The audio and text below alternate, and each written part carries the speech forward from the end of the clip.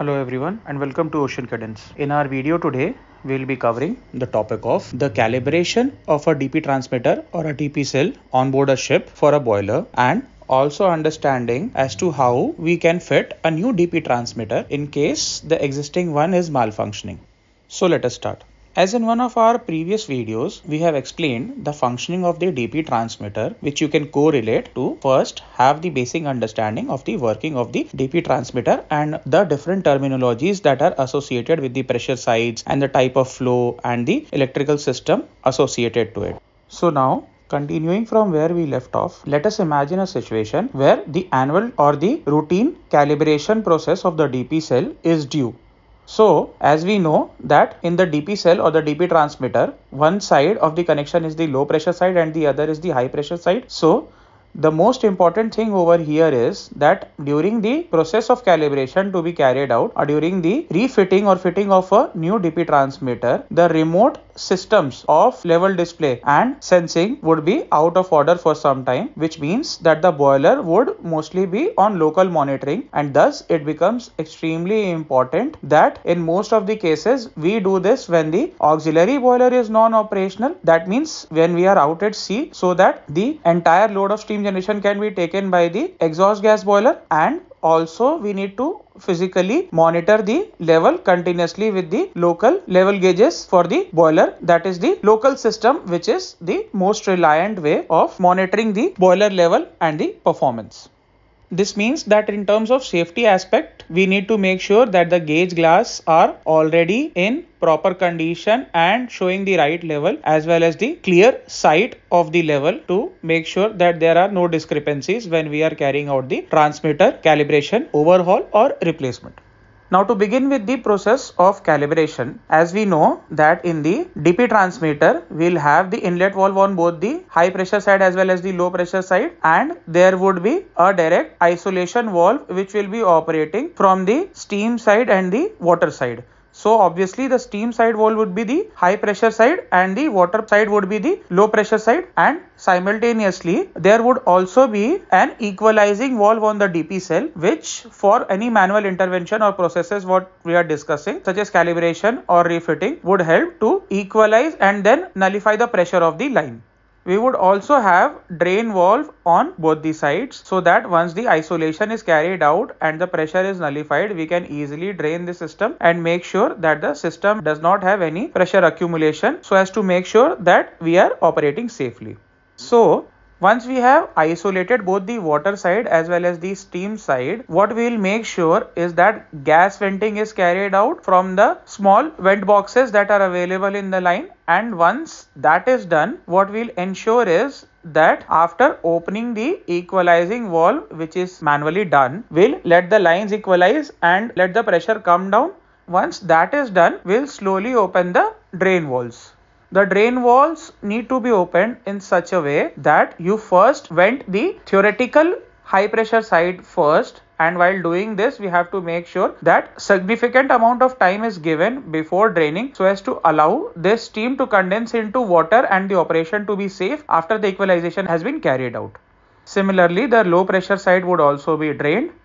and it would mean that the DP cell is now properly isolated and the line is drained for the for the process. After this what we need to do is the calibration part. So in the calibration part what we do is that we need an external gauge connection. We need a hand pump assembly or a pressurization assembly which we can connect either on the high pressure side or on the low pressure side and we need to continuously monitor the electrical output or basically the reading of the DP cell per se. So to monitor this electrical output, we can use a multimeter across the connections and because we know the 4 to 20 milliamp range of the operational condition of the DP transmitter, depending upon the electrical output, we can easily understand what is the level that we are expecting at that particular value of current. Now, what we need to understand is that in the DP cell manual or let's say the combined manual of the boiler for every simultaneous value of pressure or basically also an interpretation in terms of mmH2O there would be an indication of the percentage level that we expect in the boiler and also the electrical current output that is expected. So basically what I mean to say is that let's say if you're connecting on the high pressure side and taking the low pressure side as the reference value, then for 0 mmH2O, you will basically be having, for example, a fixed value, let's say at an empty or for example 10% or 20% calibrated and thus there would be a simultaneous current between 4 to 20 milliamps that would be showing. Similarly, as the pressure would go increasing, the current value will also change simultaneously and that indirectly would be an indicative of the level that we expect within the boiler. So as we keep on changing or varying the pressure from low to the high side by the help of the hand pump or the pump that we have connected on the high pressure side, it would simultaneously vary the current output and thus accordingly we can check the level of the pressure in terms of calibration with respect to the reference or the manual values and also understand what we expect in terms of level. So to interpret this, we will need the clear understanding of the values that are given in the table in the manual. Also, since there are zero and span setting switches on the DP transmitter, if there is an erroneous value during either of the tests, then we can use these knobs or these switches to adjust the current basically that is flowing across the circuit and showing as the final output what I basically mean over here is that in terms of the output that we are showing, everything depends on the current that is flowing within the circuit. So how we are interpreting it in terms of level, that is what we are adjusting with the zero and the span setting toggles or the knobs or the switches that are available. Once we do that, we can accurately calibrate the DP transmitter